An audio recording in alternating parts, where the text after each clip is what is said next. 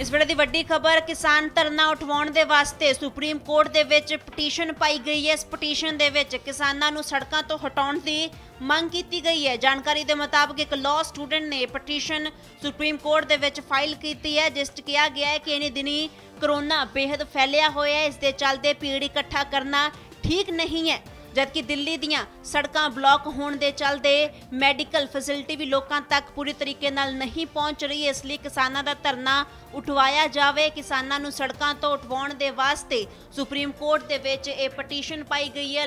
ਦੱਸਦੀ ਕਿ 8 ਦਿਨਾਂ ਤੋਂ ਕਿਸਾਨ ਦਿੱਲੀ ਦੇ ਬਾਰਡਰਾਂ ਦੇ ਉੱਪਰ ਡਟੇ ਹੋਏ ਨੇ। ਵੱਡੀ ਗਿਣਤੀ 'ਚ ਪੰਜਾਬ, ਹਰਿਆਣਾ ਯੂਪੀ ਦੇ ਕਿਸਾਨ ਇੱਥੇ ਪਹੁੰਚੇ ਹੋਏ ਨੇ ਤੇ ਇਹਨਾਂ ਹੀ ਕਿਸਾਨਾਂ ਨੂੰ ਹੁਣ ਸੜਕਾਂ ਤੋਂ ਉਠਾਉਣ ਦੀ ਮੰਗ ਕੀਤੀ ਗਈ ਹੈ, ਜਿਸ ਦੇ ਵਾਸਤੇ ਸੁਪਰੀਮ ਕੋਰਟ ਦੇ ਵਿੱਚ ਇਹ ਪਟੀਸ਼ਨ ਫਾਈਲ ਕੀਤੀ ਗਈ ਹੈ। ਦਿੱਲੀ ਤੋਂ ਨਿਤਿਨ ਤਿਮਾਨ ਦੀ report all world open challenge 17 time gold medalist Mian Rafiq Mohammad पंडित मौलवी बेगम तांत्रिक इन चोरा ठगा तो सावधान स्पेशलिस्ट वशीकरण सट्टा नंबर लव मैरिज पति पत्नी च अनबन विदेश च पक्का होना कारोबार दा ना चलना सिर्फ़ 31 घंटिया विच समाधान फ्री फ्री फ्री मियाँ रफीक मोहम्मद मोबाइल 8434 94647 84374 94648